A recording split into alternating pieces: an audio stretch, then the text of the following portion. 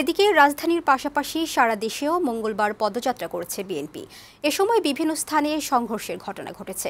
কিশোরগঞ্জে সংঘর্ষে পুলিশ ও দুই সাংবাদিক সহ বিএনপির অর্ধ শতাধিক নেতাকর্মী আহত হয়েছেন। খাগড়াছড়িতে পুলিশ সহ আহত হয়েছেন দুই পক্ষের অর্ধ শতাধিক নেতাকর্মী। ফেনীতেও বিএনপির কয়েকজন নেতাকর্মী আহত হয়েছে। বগুড়া ও রাজবাড়িতে সংঘর্ষ নিয়ন্ত্রণে আনতে টিয়ার গ্যাস নিক্ষেপ করে পুলিশ। সংবাদদাতাদের পাঠানো তথ্যচিত্রে ডেস্ক রিপোর্ট। সরকারের পদত্যাগ সহ নির্দলীয় নিরপেক্ষ সরকারের দাবিতে মঙ্গলবার সারা দেশে পদযাত্রা করেছে বিএনপি। এ সময় দেশের বিভিন্ন স্থানে সংঘর্ষের ঘটনা ঘটে। কিশোরগঞ্জে বিএনপির পদযাত্রার সময় দলের নেতাকর্মীদের সঙ্গে পুলিশের সংঘর্ষ হয়েছে। এ সময় দুই সাংবাদিক সহ অর্ধশতাধিক নেতাকর্মী আহত হন। পরে পুলিশ পরিস্থিতি নিয়ন্ত্রণে আনে। ফেনীতে বিএনপির পদযাত্রাকে কেন্দ্র করে পুলিশ ও বিএনপির নেতাকর্মীদের মধ্যে সংঘর্ষ হয়েছে।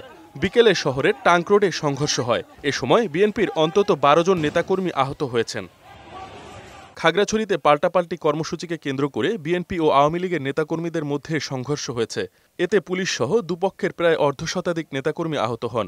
সকালে জেলা শহরের শাপলা চত্বরে এই সংঘর্ষের ঘটনা ঘটে। পরিস্থিতি নিয়ন্ত্রণে আনতে বেশ কয়েক রাউন্ড টিয়ার গ্যাস নিক্ষেপ করে পুলিশ। বগুড়ায় বিএনপির পদযাত্রায় পুলিশের সঙ্গে সংঘর্ষ হয়েছে। দুপুরে শহরের ইয়াকুবিয়া স্কুলের মোড়ে এই সংঘর্ষের ঘটনা ঘটে।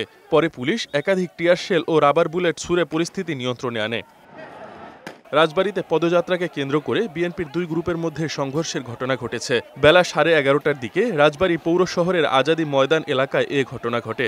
এতে উভয় পক্ষের অন্তত বিশ জন আহত হয়েছে। ময়মনসিংহে নগরীর দলীয় কার্যালয় থেকে পদযাত্রা বের হয়ে প্রধান প্রধান সড়ক প্রদক্ষিণ শেষে পলিটেকনিক মাঠে গিয়ে শেষ হয়।